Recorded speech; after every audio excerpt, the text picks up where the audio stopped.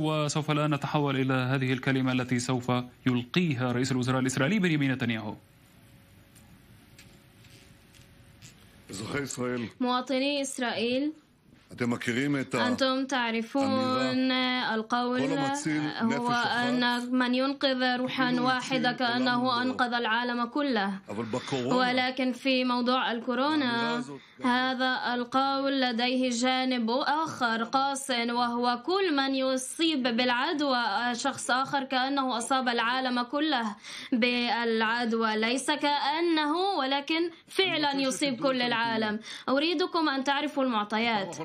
في المرة الأخيرة التي تحدثت إليكم كان ذلك يوم الخميس قبل خمسة أيام. وكان عدد المصابين في إيطاليا كان 41 ألف والوفيات كانوا 3400 واليوم في إيطاليا لدينا 71 ألف مصاب وأكثر من 7000 وفاة. والمصابين في إسبانيا يوم الخميس كانت 18 ألف والوفيات كانت 8001 واليوم لد... بعد. خمسة أيام فقط لدينا في إسبانيا 47 ألف مصاب. و 3400 وفاة. هذا ارتفاع حاد بعدد الوفيات ولهذه الأسباب. هناك الكثير من الدول حول العالم مثل بريطانيا والولايات المتحدة وكاليفورنيا ونيويورك قرروا إصدار تعليمات كبيرة وقاسية على مواطنيهم.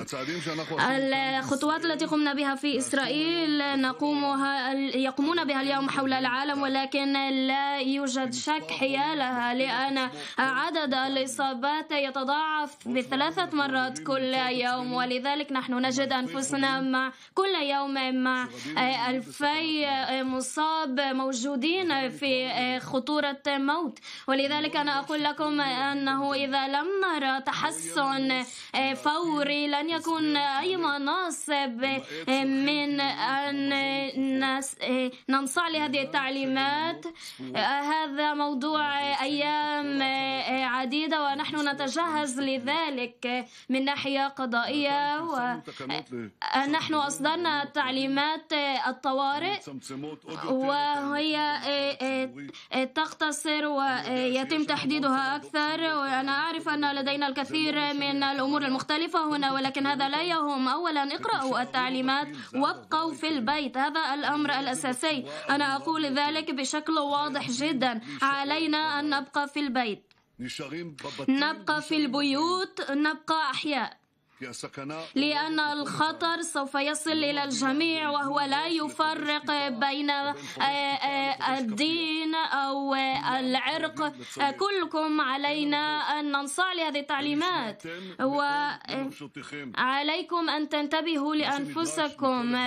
المطلوب هذا مطلوب من كل واحد منكم. وما بعد هذه التعليمات المطلوب أيضا هو أن نلتزم وأن ننصاع بأنفسنا لكل هذه الأمور. إن لم تهتموا بذلك لأنفسكم ولعائلتكم سوف يكون الخطورة أكبر. لا تخرجوا من البيت. وأيضا داخل البيت نفسه قوموا بتنفيذ التعليمات اغسلوا أيديكم وقوموا بتهوئة البيت. هذه التعليمات ليست سخافة. الموضوع هنا مهم جدا ومتعلق بأرواح أنا أعرف أن للأولاد الصغار من الصعب عليهم أن يبقوا في البيت ولكن لا يوجد لدينا أي بديل. نحن نستمر وأنا أشكر المعلمين والمعلمات على التعليم عن بعد وأشكر وزارة المعارف. أريد أن أحدثكم عن بعض الأمور المهمة التي نقوم بها. نحن نستثمر ونقوم بمجهود كبير من أجل التزود بالأمور المختلفة في العالم. لدينا محاولات كبيرة للتزود بالعدة الطبية وهناك أيضا كانت حرب كبيرة في إسرائيل في منظمة الصحة لتزويد المعدات الطبية ولأيضا التحسين من ذلك في البلاد. قمنا ب تزويد وتكبير عدد الفحوصات ضد الكورونا في البلاد واليوم لدينا أصدرنا أكثر من خمسة آلاف فحص وأنا أقول لكم أن هذا نسبة لعدد الأشخاص المواطنين هذا كبير جدا مقارنة مع الدول الأخرى.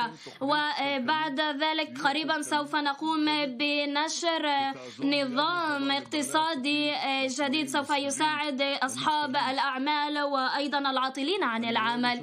أنا أرى الضائقة وأنا أسمعكم أسمع وأفهم ضائقتكم بما يخص أماكن العمل والمعيشة وهذا فعلا يحزنني سوف نساعدكم لدينا اقتصاد قوي ولدينا الكثير من المصادر التي سوف تساعدكم سوف نساعد بعضنا بعض لكي نتغلب على هذه الأزمة. لا يمكنني أن أقول لكم اليوم أن ولا أي شخص آخر يمكنه أن يقول لكم متى سوف تنتهي هذه الأزمة ولكننا نفكر باليوم بعد تغلبنا على ذلك ولذلك قمنا بتعيين طاقم سوف يهتم بالكثير من الأمور الطبية في البلاد وهم الأنجح حول العالم ونحن سوف نحسن وضعنا الاقتصادي وسوف نعود لحياتنا الاعتيادية. هذه الأيام صعبة وأنا أريد أن أشكركم من قلبي للطاقم الطبي وللممرضين. وللمساعدين الطبيين للممرضين ولكل الطواقم الطبية في البلاد وهم يقومون بعمل مقدس. نحن كلنا شكورون لكم. يا مواطني إسرائيل الكورونا تنضم للأوبئة القاتلة للإنسان الموت الأسود الكوليرا الوباء الإسباني. الإسباني الذي كان من قبل وعندما كانت هذه الأوبئة لم تكن لدينا دولة ولكننا اليوم لدينا دولة لنا وهذا يتيح لنا إمكانيات جديدة أخرى لكي نقرر مصيرنا. إسرائيل حول العالم اليهود وغير اليهود يطلبون أن يصلوا للبيت ويعودوا للبيت و إسرائيل تقوم بالمساعدة وأنا أريد أن أشكر كل الطواقم الطيران الذين يتجندون لهذه المهمة المقدسة. كلنا جميعا يا مواطني إسرائيل نكتب فصلا جديدا في تاريخ إسرائيل. وفي الجيل القادم سوف ينظرون إلينا ليتعلموا كيف يتصرفون في وقت الامتحان. هذا يضعنا تحت المسؤولية. مسؤولية كلنا مسؤولية قومية ووطنية. أنا أعلم أن لدينا هنا لدينا مواضيع متفرقة ولكنني أقول بشكل واضح علينا أن نضع كل اختلافاتنا على جنب. نحن واحد نحن دولة واحدة وفي هذه الساعة علينا أن نكون متوحدين. أعود وأناديكم وأدعو الجميع لأن نقوم بحكومة موحدة للاهتمام وللتغلب على هذا الوباء. هذا الشهر يعيد لنا أن شعبنا كان قد تغلب على كل الأمور العصيبة التي حصلت من قبل وقد مر بها.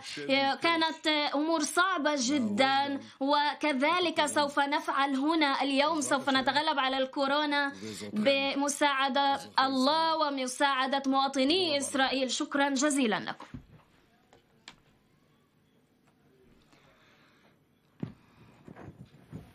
نعم إذا كانت هذه كلمة لرئيس الوزراء الإسرائيلي بنيامين نتنياهو والتي تطرق فيها إلى آخر تطورات فيروس كورونا بالإضافة إلى بشكل سريع عن التطورات السياسية وحكومة الوحدة.